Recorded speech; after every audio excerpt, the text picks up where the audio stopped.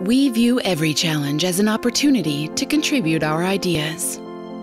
And the issue of sustainability in the production of our tool steels is especially close to our hearts.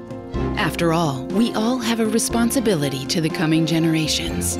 It is this pleasure in taking on a challenge that sets us all apart.